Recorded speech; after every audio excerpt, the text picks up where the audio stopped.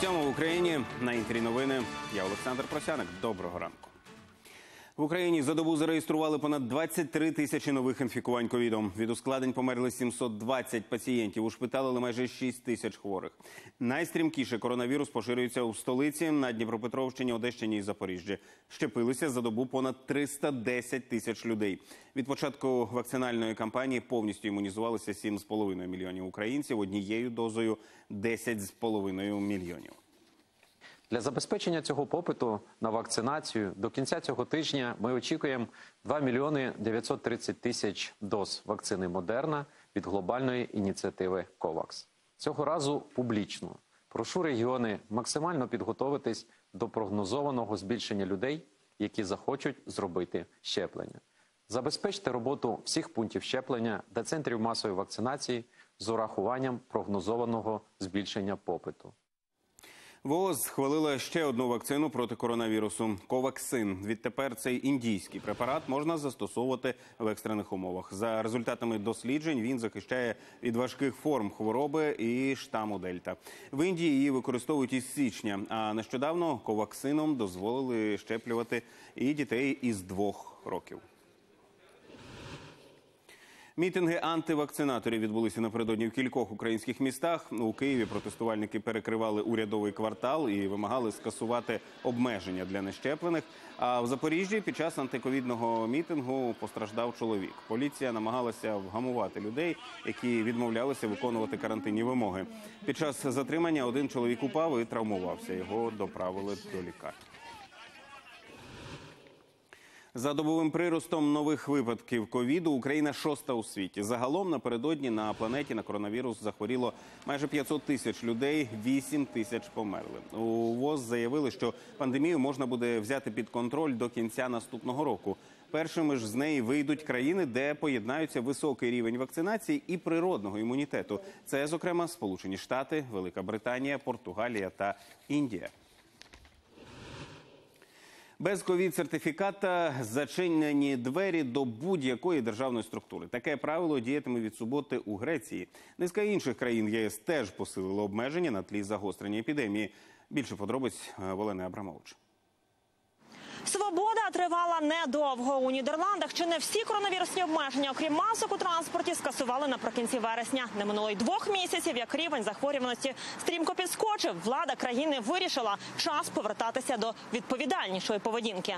Er. Починаючи з суботи, 6 листопада, маски стануть знову обов'язковими не лише в громадському транспорті, а й на вокзалах і зупинках, а також у всіх загальнодоступних приміщеннях, як от урядові будівлі, магазини, бібліотеки та лікарні. Oh. Оголосили і штрафи 95 євро за відсутність маски. Стосується це і контактних професій. Скажімо, у перукарні в масці мають бути і клієнт, і майстер. Інакше на гроші покарають обох. Від суботи в країні, де вакциновано 84% населення, ковід-сертифікат вимагатимуть у громадських місцях, музеях, барах та на терасах. Ця перепуска має містити доказ того, що ви повністю вакциновані або раніше хворіли на коронавірус, чи отримали негативний результат не більше ніж 24 години тому. Далі пішов грецький уряд. Там вирішили, що без сертифіката не пускатимуть не тільки в бари чи музеї, а й у банки, державні структури та навіть непродуктові магазини. Поліція посилить перевірки. Штрафи для бізнесу підняли до 5 тисяч євро і вище. Тепер, коли протиковідні препарати доступні, ми не припиняємо економічної та соціальної діяльності. Проте ті, хто ще не захистився за допомогою вакцини, повинні будуть проходити суворіший моніторинг із частішим тестуванням, щоб захистити себе та довколишніх. Дедалі більше країн розмірковують про запровадження ковід-сертифікатів для доступу на роботу. Приклад Франції та Португалії продемонстрував, що у такий спосіб можна збільшити рівень імунізації в країні.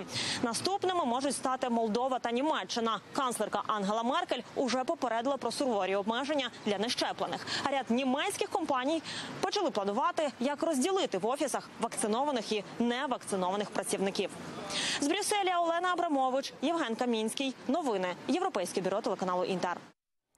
На Закарпатті виявили вірус поліоміеліту. Занедужила 12-річна дівчинка, яка не була щеплена. І це вже п'ятий випадок у регіоні з початку року. Усі хворі діти були не вакциновані. Мар'яна Мартин продовжить. Обласна дитяча лікарня в Мукачеві. Саме тут уже місяць лікують 12-річну дівчинку з Тячівщини. Дитину привезли з паралізованою ногою, тож медики одразу запідозрили поліомієліт. Вона була не вакцинована.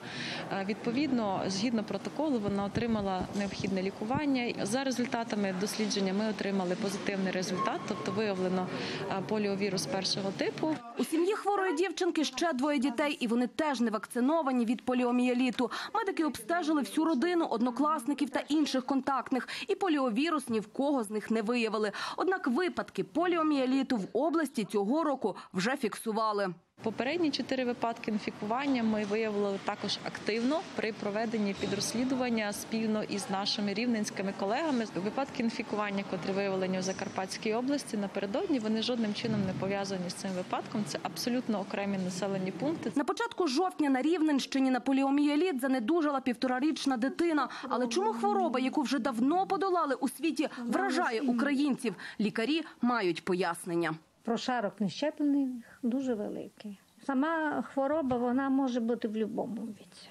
З 1 жовтня в Україні трьома дозами проти поліомієліту вакцинували майже 60% дітей до року. І це при тому, що імунізація – єдиний спосіб захиститися від хвороби. Є достатньо, бачите, тут у мене зараз 60 доз, а йдуть приблизно в день, може, 5. Щеплення проти поліомієліту в Україні є обов'язковим і безоплатним. Дітей від недуги вакцинують у перші місяці, а потім у 6 та 14 років. Що стосується 12-річної школярки з підтвердженим діагнозом, то її стан наразі стабільний. Але в дівчинки залишається частковий параліч м'язів. Вона проходить відновлювальну терапію в неврологічному відділенні. Мар'яна Мартин, Юрій Ковальов. Новини телеканал Інтер. Закарпатська область. Верховна Рада напередодні звільнила з посад п'ятьох членів уряду. Депутати прийняли відставки міністра оборони Андрія Тарана та міністра довкілля Романа Абрамовського, двох віце-прем'єрів Олексія Резнікова і Олега Уруського, а також першого віце-прем'єра і міністра економіки Олексія Любченка. Сьогодні парламент у присутності президента планує затвердити на вакантні посади нових урядовців. І ще одна фальшива дія. Правоохоронці викрили 17-річного хакера з Харкова, який створив копію застосунку. За 200 гривень можна було отримати доступ до платформи, за 300 – підроблений сертифікат про вакцинацію, а доплативши ще сотню – посвідчення водія. Дані користувачів зберігалися на сервері, і за бажанням їх можна було змінити. У поліції проти зловмисника відкрили кримінальне провадження. Раніше повідомлялося, що фальшиву дію створив 21-річний хлопець із Запоріжжя. Він продавав свою розробку по 100 гривень. Його викрили, відкрили кримінальне провадження і запропонували спокутувати свою провину роботою у Мінцифри. Замість в'язниці у музей в Італії за неважкі злочини відправлятимуть на виправні роботи в культурні заклади. Програма експериментальна. У ній візьмуть участь близько сотні арештантів. Окрім музеїв, до програми залучать також бібліотеки, архіви та археологічні парки. Загалом 52 об'єкти, серед яких палац Казерта біля Неаполя і Національна галерея у Болоньї. Квентін Тарантіно продасть сім сцен із кримінального чтива, які не ввійшли у фінальну версію культового фільму. Окрім відео, режисер також виставить на продаж оригінальний рукописний сценарій кінострічці та свій ексклюзивний аудіокоментар. Усі лоти матимуть цифровий сертифікат, що підтверджує їхню оригінальність. Чи будуть колись доступні виставлені фрагменти у відкритому доступі? Наразі невідомо. Я нагадаю, фільм Кримінальне чтиво здобув золоту пальмову гілку, найвищу нагороду в Каннах у 1994-му, а за рік Оскар за найкращий сценарій. І поки що це все. Наступний випуск вийде о 8 Тоді побачимося. До зустрічі.